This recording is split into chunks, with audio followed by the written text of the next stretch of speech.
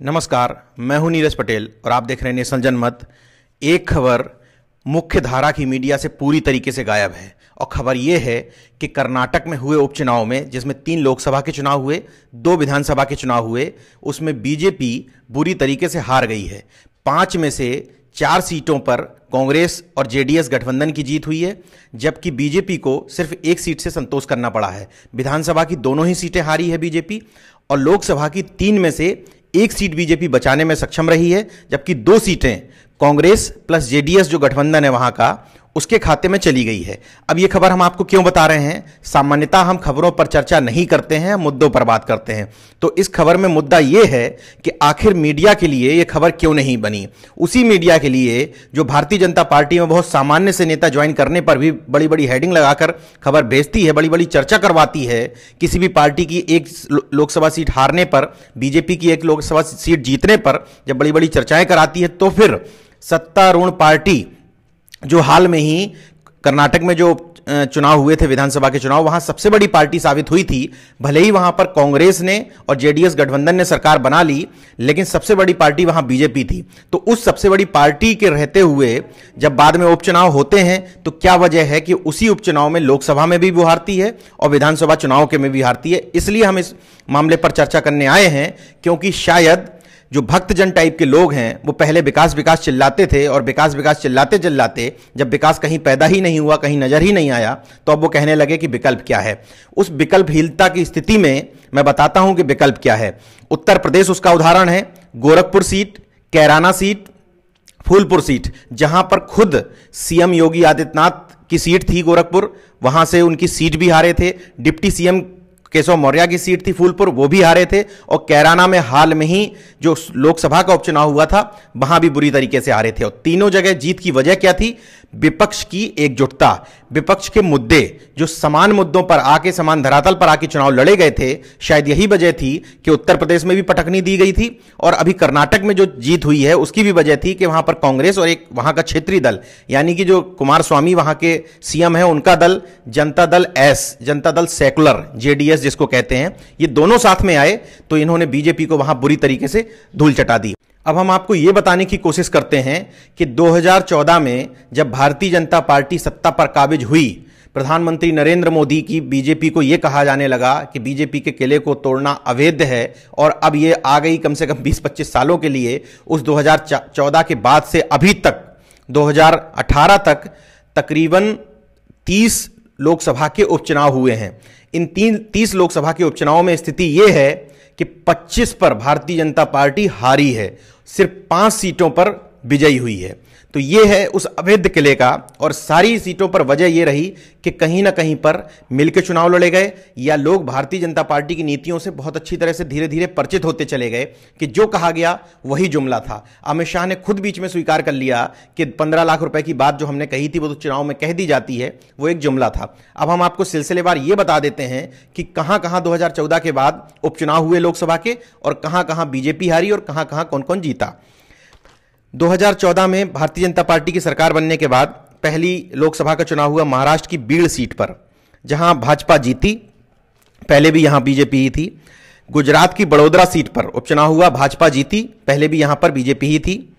मैनपुरी में उपचुनाव हुआ, समाजवादी पार्टी जीती, पहले भी यहाँ समाजवादी पार्टी थी।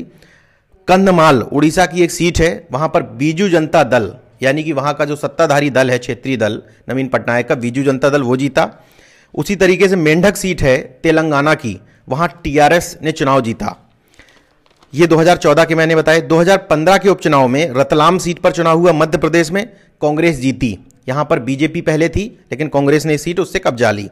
वारंगल, तेलंगाना की एक लोकसभा सीट है, वहाँ पर टीआरएस जीती। वनगांव, पश्चिम बंगाल की जो सीट है, वहाँ पर ऑल इंडिया तृणमूल कांग्रेस जीती। 2016 में जो उपचुनाव हुए, उसमें लखीमपुर एक सीट है, असम में। वहाँ पर भाजपा जीती। शहडोल सीट है मध्य प्रदेश, वहाँ पे भी भाजपा जीती।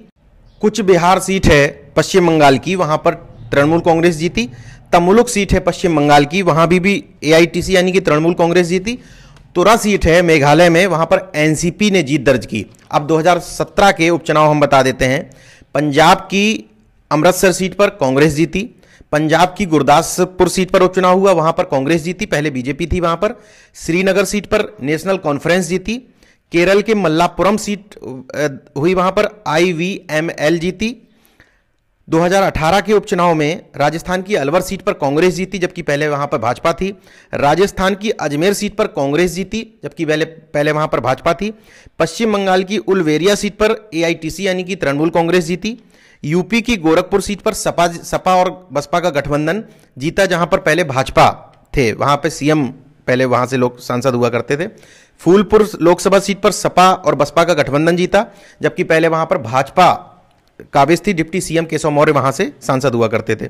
बिहार की अररिया सीट पर आरजेडी जीती, यूपी की कैराना सीट पर राष्ट्रीय लोकदल जीता। अभी हाल में ही जो हुए, हम बता दें आपको, कर्नाटक की बेल्लारी सीट पर कांग्रेस प्लस जेडीएस का गठबंधन जीता।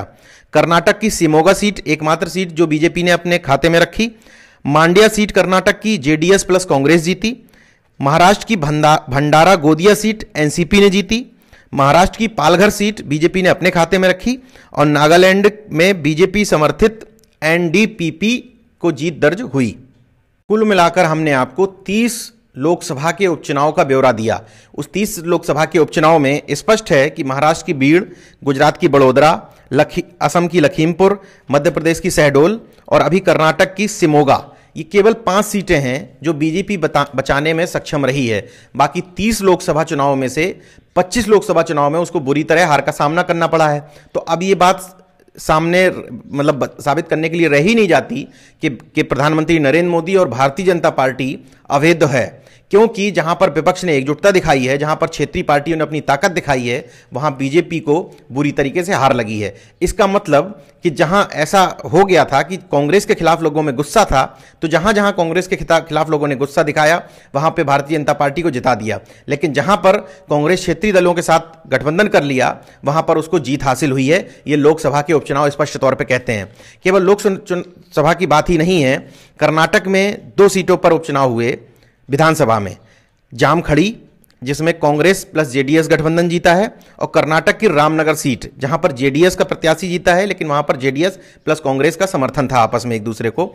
ये दो उदाहरण बताए। उसी तरीके से यूपी यूपी की नूरपुर विधानसभा में भी समाजवादी पार्टी और बसपा का बाहर से समर्थन था, आरजेडी का भी, आरएलडी का भी बाहर से समर्थन था, ये सारी पार्टियाँ मिलकर जीती।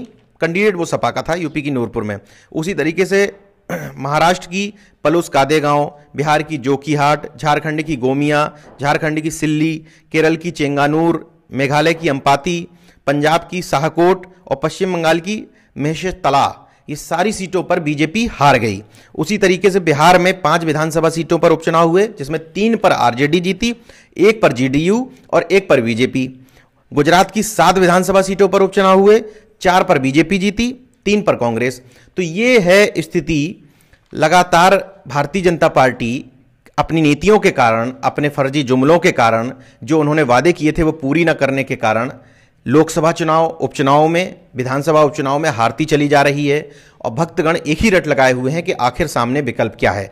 तो इस सांप्रदायिकता के खिलाफ विकल्प क्या है, ये लोगों को खुद सोचना है। इस आरक्षण के खात्मे वाली सरकार के खिलाफ लोगों के सामने विकल्प क्या है, आपको खुद सोचना है। किसानों के लिए सबसे बड़ी समस्या जानवर बनते जा रहे हैं, आवारा जानवर, क्योंकि इसी सरकार ने गौ कसी पर रोक लगा दी। तो सामान्य तौर पर मरी हुई गायों को गायों को भी लोग खेतों से गाँव से ले जाने में डर रहे हैं। ऐसे समय में गाँव, गायों की बढ़ती हुई जनसंख्या किसानों की पैदावार के लिए नुकसानदेह बन रही है। इसके लिए जिम्मेदार कौन है और इसके सामने विकल्प क्या है? रोज़गार, घटते हुआ रोज़गार, देश की अर्थव्यवस्था, देश के बड़े बड़े संस्थान जैसे सीबीआई देश के बड़ा संस्थान आरबीआई, देश के बड़े संस्थान सुप्रीम कोर्ट, इन सारों के समय क्या वजह है कि भारतीय जनता पार्टी के समय में ही इन सारे पर संकट आ गया और सभी लोगों के बीच में कोई ना कोई मतभेद निकलकर सामने आए, चाहे वे आईवी हो रहा हो, कुछ भी हो। तो कुल मिला के लोगों को इन सारी बातों को ध्यान रखना है, अपने मुद्दों को सोचना है छद्म मुद्दों में उलझकर वोट नहीं डालना है और सोचना है, देखिए 2019 जैसे जैसे नज़दीक है तो अभी फैजाबाद का नाम अयोध्या कर दिया गया। योगी आदित्यनाथ जा, जाकर वहाँ पर बड़े बड़े वादे कर रहे हैं। कुल मिला के सरकार 2019 का चुनाव सिर्फ़ और सिर्फ़ अपनी धार्मिकता पर जीतना चाहती है। विकास का मुद्दा खत्म हो चुका है तो मेरा अनुरोध है नेशन जनमत के माध्यम से कि विकास के मुद्दे को जीवित रखें और धार्मिकता को बढ़ावा कम से कम दें, क्योंकि ये देश वैज्ञानिक सोच के आधार पर चलता है और देश का संविधान भी कहता है कि हमारी वैज्ञानिक सोच ही देश को तरक्की की राय पर ले जाएगी, ना कि धर्म और धार्मिकता। शायद यही वजह है कि जब कोई विदेश से कोई व्यक्ति आता है तो इस तो इस देश के तथाकथित जो हिंदू धर्म के तमाम सारे देवी देवताएँ हैं, उन लोगों के चित्र भेंट ना करके गौतम बुद्ध को भेंट किया जाता है। गौतम बुद्ध की मूर्ति भेंट की जाती है, क्योंकि बुद्ध का जो मानसिकता थी, विचारधारा थी, वो बुद्धि से उपजी हुई थी और वो हमेशा कहते थे कि पहले सोचो, समझो, तब मानो, तब जानो। यही मेरा आपसे अनुरोध है। देखते रहिए नेशन जनमत, जागरूक रहिए, सजग रहिए। धन्यवाद। दोस्तों, अगर आपने मेरा यूट्यूब चैनल सब्सक्राइब नहीं किया तो प्लीज़ सब्सक्राइब कर लें और उस बेल आइकन पर ज़रूर क्लिक करें, जिससे जो मेरे न्यू